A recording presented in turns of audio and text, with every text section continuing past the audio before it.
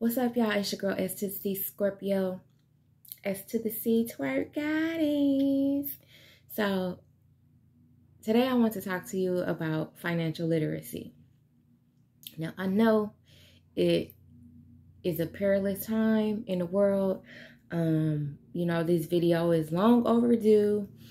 A lot of people are panicking about their financial situation. You know, they want information, tips, and tools on you know, financial literacy. They might want more awareness or information about financial literacy. So, have you ever wondered like why or how rich people become broke or go broke? Well, it has to do with financial literacy or lack of.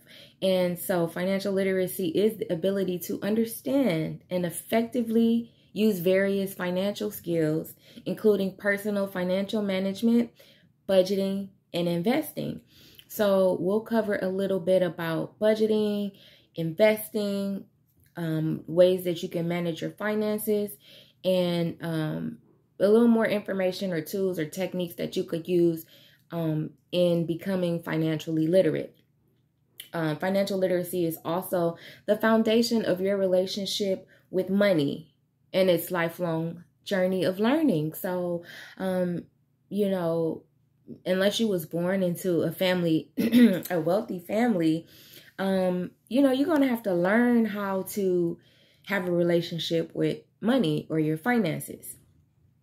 And so, um, some of the ways that you can increase your finances are what you doing now, tuning into this video, learning more about financial literacy, um, but also budgeting, couponing, savings, investments, entrepreneurship, or inventions or products or services. So there's a variety of types of investments. So for starters, I would suggest a savings account. You know, it's a simple way to save money. You definitely want a savings account that is going to give you a lot of interest. Even though, okay, you may get one penny on a hundred dollars, um, you know, just depending on how long you keep that balance in your savings account. And it also depends on if you're with a credit union, they might offer more interest or a regular bank such as like Bank of America or Wells Fargo or Chase. Union Bank, just to name a few and throw them out there. Um, another type of investment is a CD account.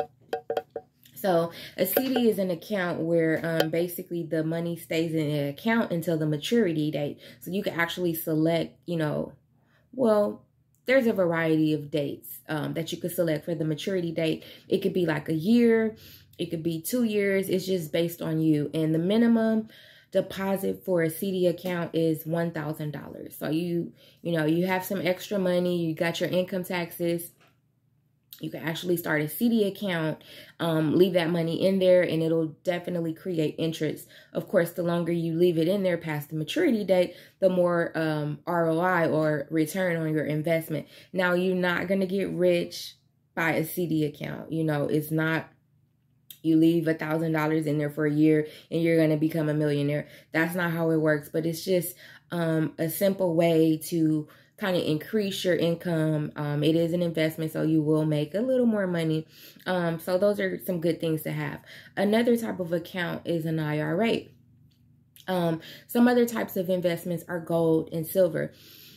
So as of lately, we've been hearing a lot of talks about um, investing in gold or silver. Um, gold, um, you know, the dollar is going to be backed by gold or silver, or you know, just in general, gold and silver is an investment. Um, you could barter with it.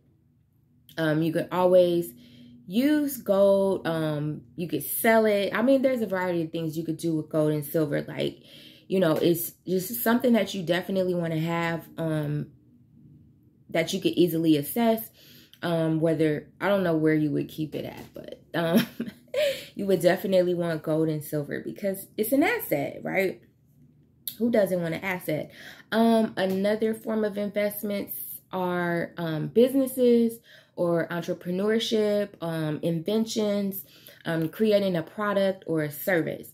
So these types of investments, okay, well, anything that you invest in, you're going to have to put money into currency, finances, obviously. Um, and you definitely want to see a return on your investment. So, um, starting a business is not easy. It's not cheap. You know, there's a lot of work that requires um, going into it. A lot of people think, oh, I'll just start a business and I'll become a millionaire overnight.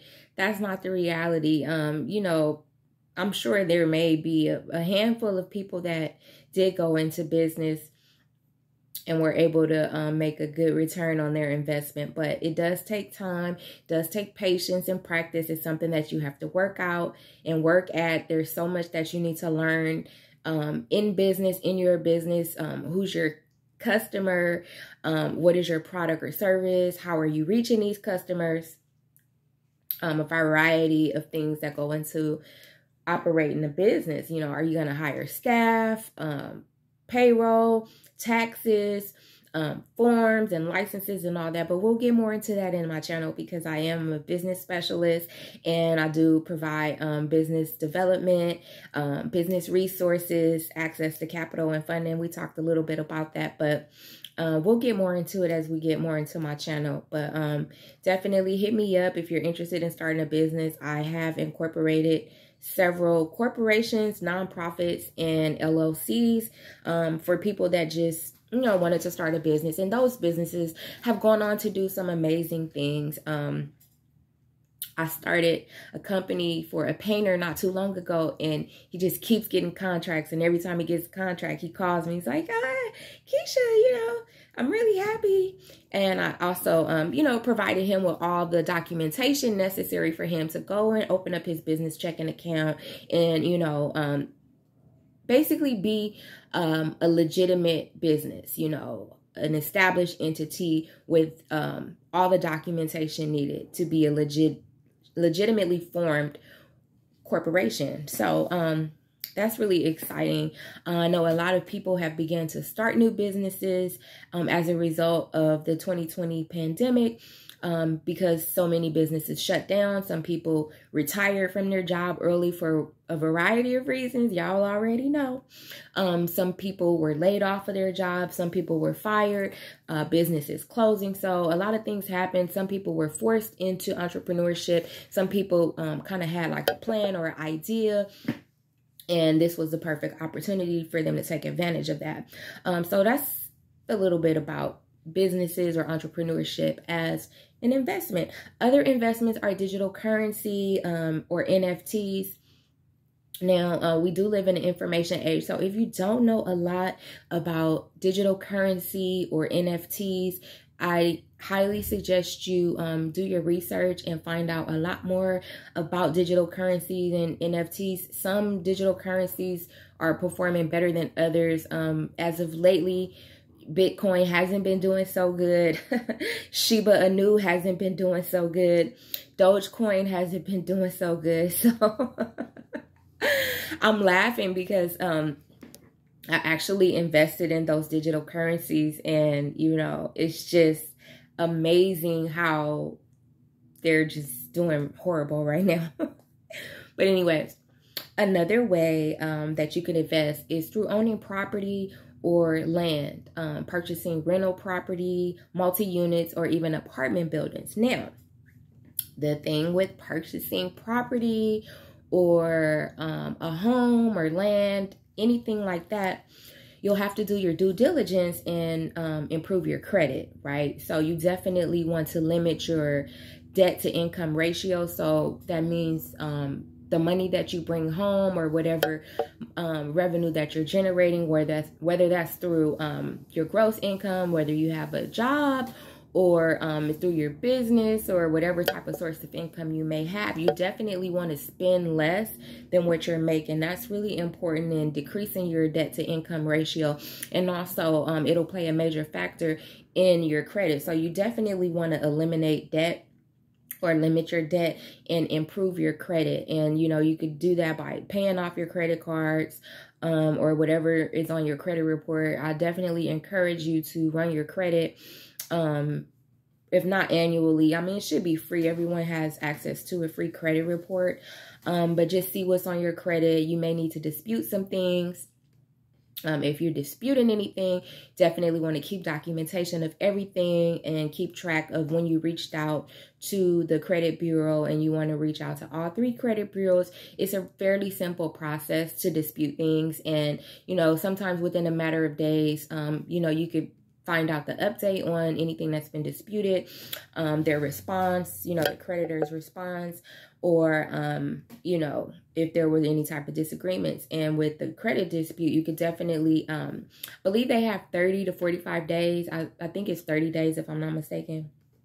So you definitely want to um, improve your credit um, you know, pay off your debts. I have a very interesting story about the pen and the teddy bear. You know, when I was in college, I was just so excited. I'm grown now. Hey, um, I'm independent. No, but I really enjoyed um, learning. So college was an exciting experience for me. But I'll never forget the first day I got on campus. You know, there was this table with a really bright tablecloth and an umbrella, and it just looked really shiny and glittery and fancy. And they were like, "Come over here, come over here." You know, it was it was kind of demonic. I ain't even gonna cap, but they was like, "Come here, you want a free pen?" I was like, "Ooh, I love pens. I'm a writer. I love pens." Um, so they got me there, and they was like, "Oh, we got this teddy bear too." So I like teddy bears, you know especially the big fluffy ones. So um, I wanted the pen and the teddy bear, so I signed up for a credit card, not having any type of financial literacy, not knowing anything about credit. okay, I was a freshman in college. What was I, 17 or whatever? I went to college early. But anyways, like I'm a freshman in college. I don't know anything about credit. Um, I did have a job, so like I I had a checking account. I was managing my checkbook. I was saving, but I didn't have any concept about um that credit card. You know what I mean? Like I had bills. Like I think I had a Sears credit card, or I just had like one credit card. But this particular credit card, I think it was a Mastercard and so being in college, you know, there's a lot of expenses. You need food, you need clothing, you know, you need transportation. You just need all these things. You need books, you need supplies. And so I, I think I may have had a um, 20, um, $2,000 limit, 2500 something like that. Um, and I'm just cha-chinging, cha-chinging, cha-chinging. And I think I maxed out my credit card like the first week I got it. And I learned a big lesson about debt. You know what I mean? So it's definitely something if you have credit cards, you don't want to be using them excessively, unnecessarily. Like they should be for emergencies only. But um, that was just my little spill on my credit card experience in college because um, when we talk about like purchasing property or land, um, you definitely want to make sure that you have a very minimum debt to income ratio and you also um, you know want to make sure that you have a good credit score that you have um, good credit. So another type of investment that someone can make is like insurance bonds or saving bonds um, insurance policies life insurance. That is an investment um, especially the type of policies that allow you to um, you know get the cash back or whatever case of an emergency or if someone becomes disabled you can pull cash off of that. So that's a good investment. Um, also that one's kind of good and it lead it leads into like when we start talking about generational wealth because you know you definitely want to leave your family um, the responsible ones you know you want to leave them some type of inheritance. So um, you can find that in like um, life insurance policies. So how to get started? Well first again you want to um check your credit report you want to pay off any debt that you have on your credit report um you can also if if you're a newbie that's fine you know and i know it's like well dang you know this information is um dire right now for some people but some people you know they've been in the game for years and you know it this is not their first rodeo and so, um, but for some that are newbies, you know, you definitely want to start. Cause I know my East Side babies, some of y'all don't have, yeah, some of y'all don't got bank accounts. Some of y'all don't got checking accounts. Some of y'all, and that's okay. You know what I mean? Start where you start where you are. You know, it's okay. Nobody's judging you, but a good way to get started is um open up a savings account. Um right now a lot of business um accounts are um offering incentives. So I think I got one in the mail the other day. Like if you open a business account, you could get like $3,000 over time. You know, of course there are some rules that apply. You need to um, open the account and deposit so much money in this amount of time. And then they will um, reward you with that incentive. So sometimes I think it's like a thousand dollars per every three thousand dollars you deposit. So um that's a form of an investment and it's like a double investment because you're not only investing in your future by having an account but they also offer a good incentive. And you know they do provide those incentives. I think it's um 90 days after the account's been open or something like that. But you know you got to read the fine print. But you know that's a good way to start. Another way to start is to again find out more information about stocks and bonds um purchase gold or silver or create a product or a service. You know invent something you know so that's really important. Another thing um, when we talk about financial literacy financial well-being financial freedom financial investments is spending. So when it comes to spending we definitely want to economize. We want to spend less than we make. That's going back to the debt to income ratio. You want to minimize overspending. You want to come like a minimalist. You know you definitely want to become like a minimalist and really only buy what you really need. So right now with inflation and gas prices and food prices, you know, you, you want to avoid eating out, you know, not just for health reasons, you know, but for financial reasons. Like it's expensive eating out. I know some families, they feel like that's their only option or for some, it might consider it cheaper to eat out, but it definitely adds up. Then when you add on tax, if you're ordering Uber Eats or through any type of delivery service, um, it could definitely add up over time. And all that money you could put into your savings or you could, you know, start putting that money towards, you know, some of your goals, whether it's to start a business or to purchase some rental property or land. So you definitely want to minimize your spending. Um, another way to do that is through couponing. So a lot of people, you know, are not hip to coupons. Some people are like experts on couponing, couponing. I say couponing. People try to correct me, but like it's coupon. I say coupon, okay? But anyways, um, yeah, coupons um definitely help save money and I don't got no shame in my game. I be using coupons. Yes, I do. Yes, I do. If I could get 10% off, 20% off, yes, I do. Yes, I do. Um, another cool perk is um, with credit cards or even your bank cards, your debit cards, they have this feature to where like if you go to certain stores, um, you can activate to get like 10% off your purchase and things like that. So those are really good too, but you definitely want to avoid um, excessive spending. So couponing, budgeting, finding sales if you just have to have something. And then also this one's really big and a lot of smart people do this um, they basically utilize used products. So let's just say, for example, you go on Amazon and you want to buy a book. Well, you don't have to get the new book. You could get the used book and save money. So you definitely want to minimize your spending and find different ways that you can save money. Because I'm telling you right now, you're going to need it right now with the gas prices and the food prices and everything just like going up, going up, going up. It's really important that, you know, you kind of um, maximize your dollar. They say the dollar is like worth a penny now. I believe it. I see it. But even if it is a penny, you definitely want to maximize that and minimize your spending.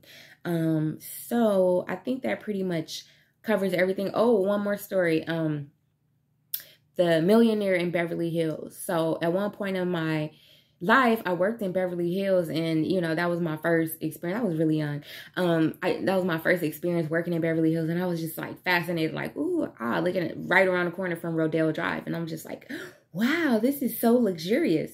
But um, on my way to work, I used to see this guy. I eventually ended up talking to him, but he would have like on a the same suit every day, and like these really busted penny loafers with a hole in it, but he was a millionaire. And I was just like, wow, that's dope. You know what I mean? Like he he's not trying to impress anybody. So I'm saying that to say that a lot of times, um, you know, in the pandemic, we seen a lot of people at the Louis store, the Gucci store, uh, you know, Celine, all these designers, right? Tiffany and Co all these, you know, expensive designers, but many of my Eastside babies was not investing that money. Many of my Eastside babies was not saving that money. So I shared the example of the mil- the millionaire and penny loafers with you because he had a million dollars. He could go buy whatever name brand he wanted, but he wore the same suit and the same busted shoes every day. So that's what I mean when I say minimize your spending. Um, again, improve your credit, limit your debt, your debt to income ratio, and you know, just as much as you take care of your physical, mental and emotional well-being your financial well-being is just as important. So i hope you enjoyed this video on financial literacy. I hope you found it very informative. I hope you will utilize um, some of the tips and techniques that i discussed in this video um, just to help you or someone you know that may be having some challenges with their finances or you know, having a hard time um, or may have the means but just don't know what to do. So I hope this helps you. But it's your girl S to the C Scorpio, S to the C twerk goddess. Shout out on my East Side babies, and I'm out.